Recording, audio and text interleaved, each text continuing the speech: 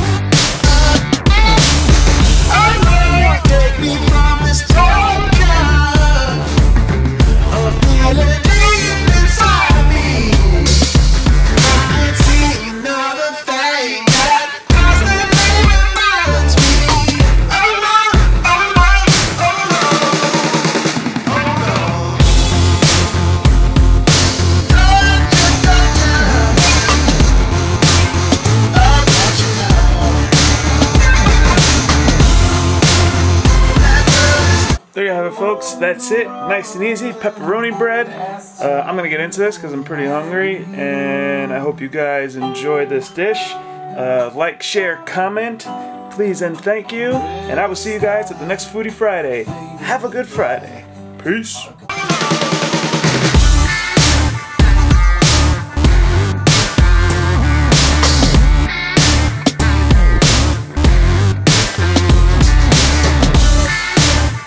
Really quick, guys, I just wanted to give a quick shout out to everybody who's been liking, sharing, commenting, even the people who have been viewing my videos. Thank you guys so much. Uh, I'm really putting myself out there, trying to do more me, trying to get you guys to do more you. The NO Project, this is what it's all about right here. It's taking everything that you know and just doing more of it.